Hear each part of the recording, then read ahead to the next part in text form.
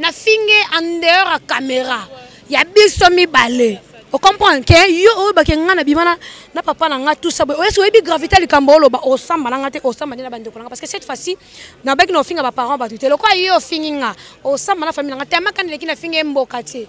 ken mpe aza na eloko afinga ngai te ayebi verite na nga te alelo soki ofinga nga makambo ya ex na nga ye mo ozalaki kofinga ex na nga pendant une année lelo okoma otambola na ye okoma obwaka ye na batema okoma oyambe lokola invité no spécial obosani bavideo ofinga ye soki ye kuta aleki nga mbongo ofinga ye bongo ngai ofinga nga te ndeni donc soki karine mokonzi ngai na ye lelo tokoma na bon terme tosola tosekaka ken mpe anoya oloba bozala na karine tout ça boyeboye dikumba moko baluka okoma ke foki ebala karine tout ça donc yo oza no trouble fete oyeba makambo osala te ken pena oleki na tele oloba ok ngai nabimisa baverité na yo na ya foye na yo ovanda nde ovandi wana naose réserve motema bomama mai naozela osala deuxième émission naoselo deuxième émission omoni résumé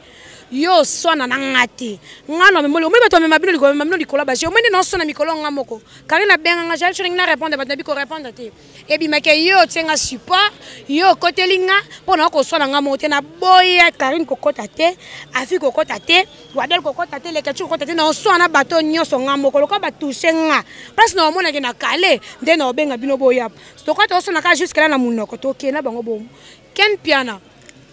fe gaf naokeno bongo donc r nga na oloba nga na nanga na na bali te na marie te bino bato bobala yo nde ozala problème nga na ozala problème te mpo na la soki naza maîtresse ya solo nako composelo litract te mais nakozoloka nakozolo bato ozotambola bango na afrique du sud bakokanga bafoto bakozwa babiloko mosusu nayo nango na caméra okoka te okoswa na ngai te alors naolongola makambo ozala na mopanzi mpo okoswa na ngai te ezala mopanzi soki oza mokala kuna mpasi okendaka chez moi nalinga nao mikala te